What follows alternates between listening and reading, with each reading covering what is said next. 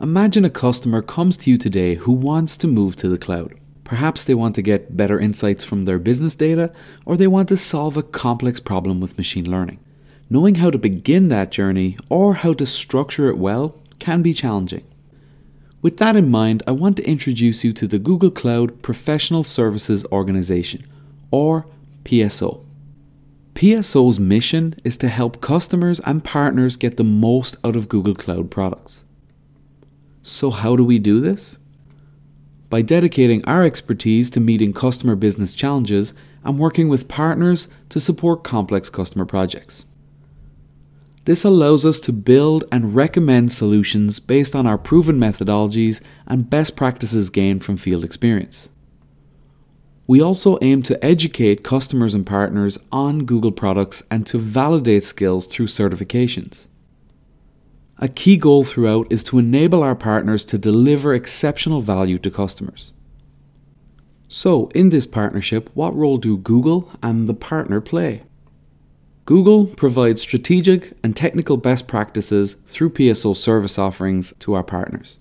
Partners offer a combination of field experience, strong technical ability, and in depth customer knowledge. They leverage the PSO services and assets to structure and guide customer projects. The pillars of PSO's business are grouped into four categories. The consulting services focus on successfully delivering specific projects and services. We have consulting service packages for both GCP and G Suite. Technical account management ensures the long term success of our customers' journey to the cloud.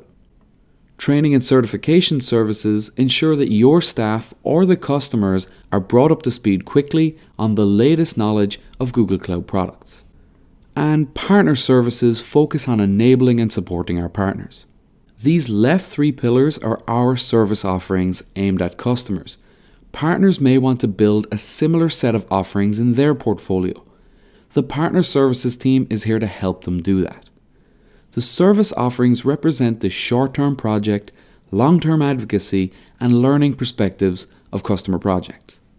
To support the successful delivery of services, the PSO team itself is divided into practice areas, each focused on a product area or solution expertise. Practice areas develop services and assets unique to their area and customer needs. So, why is this important to you? Well, it not only helps you understand how our teams are structured, but also how our services and partner specializations are categorized.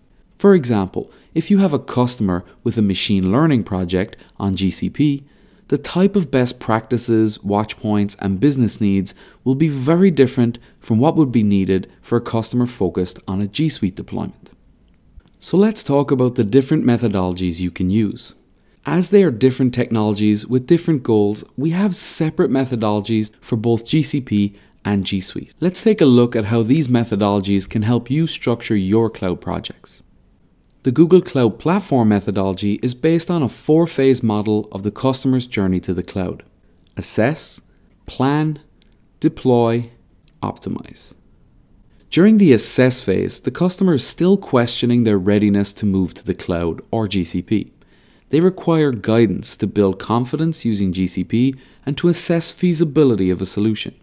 During the plan phase, the customer is convinced GCP is right for them, but they require your expertise to plan for this journey and to help design their solution. Deploy is when you'd implement the proposed solution following Google's best practices.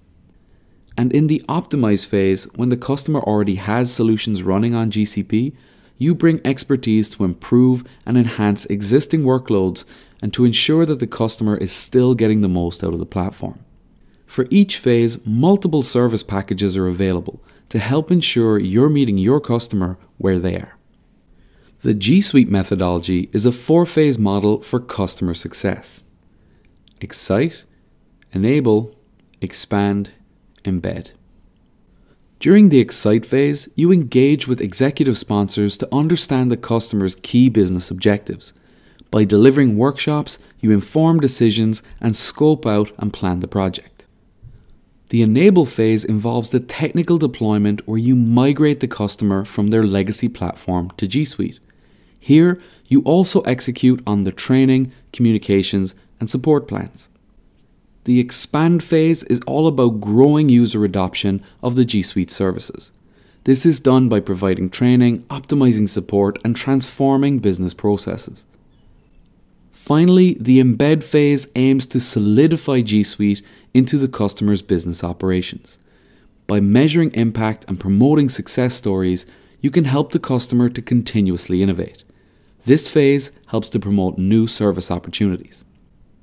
At each of these phases, we have different services and assets designed to ensure success on the platform with high adoption and return on investment. So, where can you find the tools, methodologies, and best practices needed? In Cloud Connect, the official community for Google Cloud partners. In the professional services section, assets are shared with partners and organized by practice area. For example, for infrastructure assets, you go to that practice area, and each PSO service offering, such as Cloud Start or Cloud Plan, is comprised of assets that will help you sell and deliver the service to ensure customer success. If I click into Cloud Plan Infrastructure, for example, you can see here that there are plenty of assets and documents to get you started delivering these services. You can see Cloud Connect as your main source for PSO content. But what if you need more training before you get started delivering services? The Google Cloud training site has everything for you to make the most of Google Cloud technologies. We offer learning tracks with fundamental to advanced level training courses. Let's take the Cloud Infrastructure Learning Track as an example.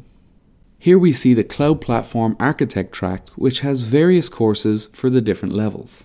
Can't be there in person? You can complete some courses online and on demand. Google has teamed up with Coursera to offer Google Cloud courses online so you can skill up from anywhere. You can also click Find a Class to locate a specific instructor led class from one of our Google Cloud authorized training partners with live and virtual options. There are also self paced labs in the form of Qwiklabs. These hands on labs provide a cloud environment to help you learn new skills. You can practice and build experience using live cloud resources in an authentic GCP environment. Once you've gained enough experience, Google's certification program gives you a way to demonstrate your technical skills and expertise. Lack of cloud skills and knowledge is the biggest barrier to cloud adoption. Grow your skills today. So, by now, you have an overview of the Google Cloud Professional Services organization, its mission, structure, and methodologies and you've taken a look where you can find more resources and training to partner with Google and build your business further. Thanks for watching.